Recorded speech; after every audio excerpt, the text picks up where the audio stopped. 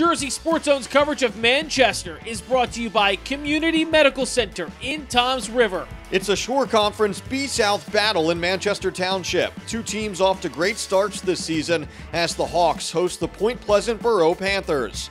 Point Borough goes to work early in this one. Jared Elliott with the ball out wide. He plays it on the ground across. Owen Clearwaters gets there in time and scores. Clearwaters finishes off the feed from Elliott, and the Panthers have a quick 1 0 lead.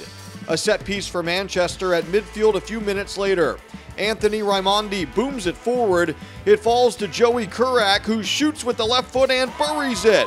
Kurak connects off of the set piece. And just like that, we're level at one. Point Borough finds its way back in front thanks to Elliott and Clearwaters again. Jared Elliott sends it long. Clearwaters lets it bounce and then smashes it in. Two first half goals for Owen Clearwaters. Two first half assists from Jared Elliott. And it's 2 to 1 Panthers at the break. Second half, a set piece for Point Borough. Elliott whips it in. Clearwaters with the header. What a save from Landon Hinton. The Hawks keeper with the point blank stop to keep it a one goal game. Still a 2 to 1 score late as Manchester looks for an equalizer. A dangerous bouncing ball in the box. An open net.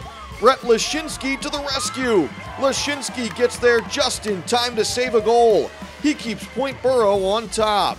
More work to be done for the Panthers, though. Mubarak Adaragba looking for Evan Weiner.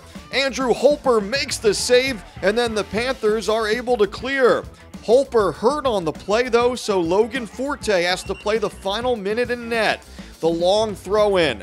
Kurak gets a header on frame, and Forte makes the save.